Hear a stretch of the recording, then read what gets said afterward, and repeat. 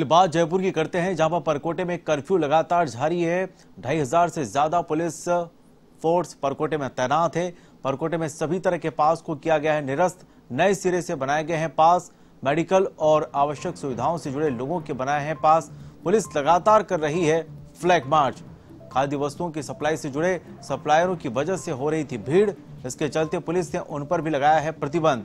अब police, civil defence और प्रशासन से जुड़े प्रतिनिधि करेंगे सप्लाई। डीसीपी नॉर्थ राजीव प्रचार ने यह जानकारी दी है।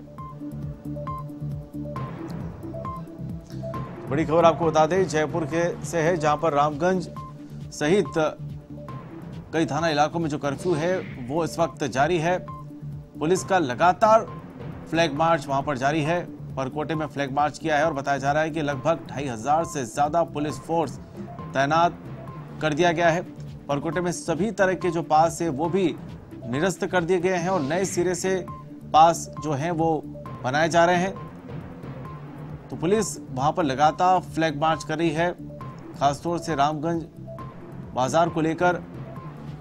काफ़ी सजग है पुलिस, क्योंकि सबसे ज़्यादा मामले वहीं से आए हैं।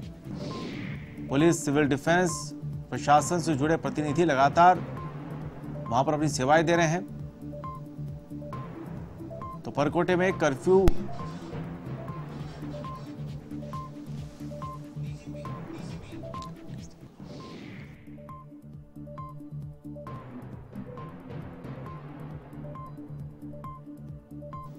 तो चलिए इस वक्त हमारे साथ डीसीपी नॉर्थ राजू प्रचार जी इस वक्त फ़ोन लाइन पर जुड़ चुके हैं। राजू जी अगर बात करें तो वहाँ पर पुलिस लगातार काम कर रही है। ढाई हज़ार से ज़्यादा पुलिस फोर्स वहाँ पर तैनात है। फ़िलहाल क्या स्थिति है वहाँ पर?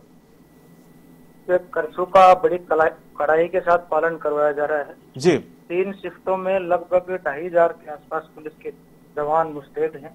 जी। जिसमें हर थाना क्षेत्र पे एक एक additional S P DYSP rank के अधिकारी बिठाए गए हैं। जी। प्रशासन के द्वारा लोगों को जो आवश्यक सेवाएँ हैं जिसमें दूध है सब्ज़ी है और राशन है वो उनके डोर टू डोर पहुँचाया जा रहा है। और हर आने जाने वाले वहाँ कोई पास के अलावा कोई व्यक्ति है तो उसको सीज करके और नियमानुसार कार्रवाई की जा रही है। बिल्कुल और राजीव जी क्या वहाँ पर कर्फ्यू में ढील देने की बात भी की जा रही है? क्योंकि जो आवश्यक सेवाएँ हैं आप कह रहे हैं कि डोर टू डोर वहाँ पर पहुंचाई जा रही है फिर भी हो सकता है कि वहाँ पर ढील दी जाए। अभी इस तरह का कोई विचार नहीं है? जी।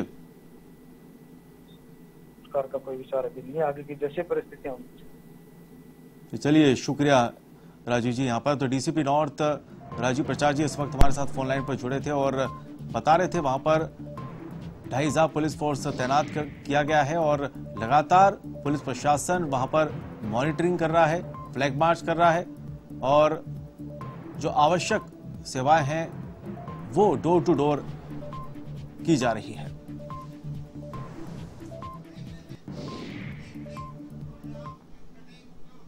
चलिए, समय ब्रेक का है। कुछ और खबरों के साथ